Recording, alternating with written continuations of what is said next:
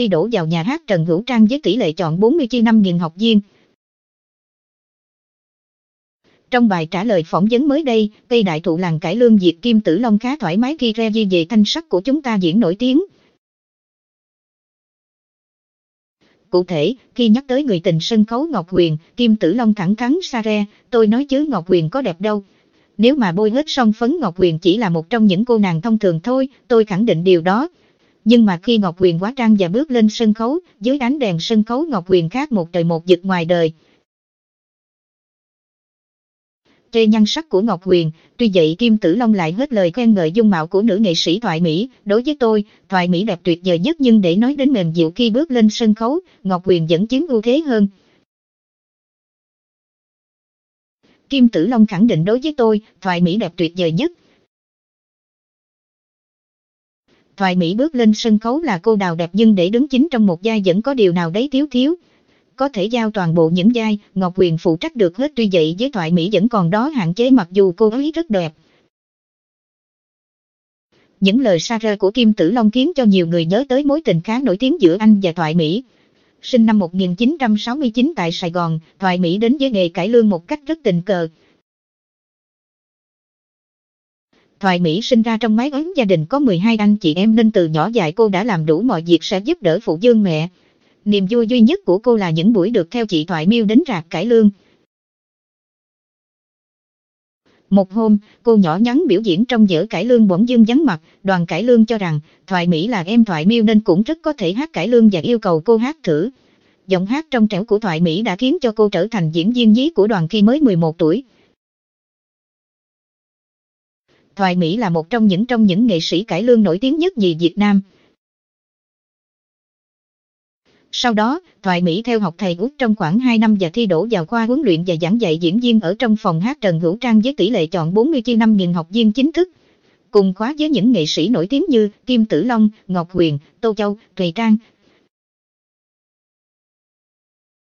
Vì trường nhà mấy cây số nên Thoại Mỹ ngày ngày phải cuốc bộ tới trường, mặc kệ thời tiết nắng đổ lửa hay mưa dầm thấm đất. Thoại Mỹ học ở trường Trần Hữu Trang được một năm thì mẹ mất, cuộc sống thường ngày càng gian trung hơn khiến cho cô phải nhận thêm việc làm bảo mẫu để sở hữu tiền trang trải. Bản thân Thoại Mỹ xem sân khấu cải lương như hơi thở, xem tình thương của người theo dõi như mái ấm gia đình. Chính vì vậy, cô dốc sức biểu diễn, thậm chí có những lúc gì tập dở quá hăng say, Thoại Mỹ bị ngã gãy chân mà không thể hay biết. Nhắc tới Thoại Mỹ, người theo dõi yêu cải lương sẽ không thể quên một cô đào rất là lanh lợi, linh hoạt. Thoại Mỹ rất có thể quá thân thành nhiều nhân vật và khiến cho người theo dõi phải yêu quý hoặc kinh ghét mình đến tột độ tùy thuộc vào sắc thái của mỗi nhân vật. Quy hoàng trong sự nghiệp là vậy tuy vậy Thoại Mỹ lại có đường tình duyên khá lận đận. Cuộc đời đậm nước mắt của người đẹp nổi tiếng nhất nhì làng cải lương.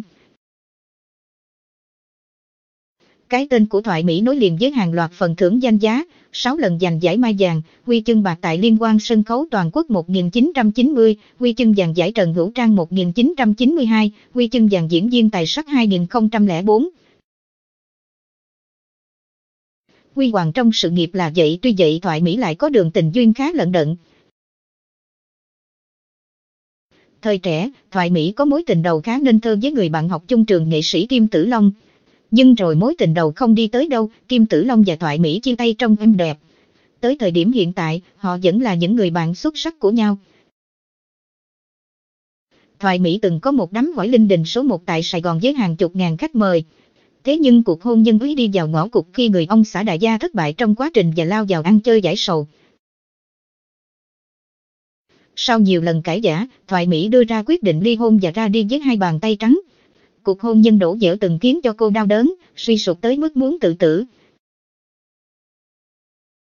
Cuộc hôn nhân đổ dở từng khiến cho Thoại Mỹ đau đớn, suy sụp tới mức muốn tự tử. Sau cuộc hôn nhân đầu tiên, Thoại Mỹ có tới hai lần làm đám hỏi nhưng rồi lại hủy hôn. Sau mỗi lần chia tay một mối tình, nữ nghệ sĩ phải mất rất nhiều thời hạn để bình tâm và vực dậy chính mình. Ở độ tuổi 50, xét về diệt nghiệp, không nhiều nghệ sĩ cải lương có được hào quang huy hoàng như Thoại Mỹ. Thế nhưng về đời tư, có lẽ Thoại Mỹ cũng là một trong những nghệ sĩ lận đận nhất vì showbiz Việt. Đẹp, tài năng, nổi tiếng nhưng ở tuổi xế chiều, Thoại Mỹ vẫn lẽ bóng đi về. cô đã mất niềm tin vào hôn nhân, cũng không tiếc nuối nhiều về những mối tình đã đổ vỡ.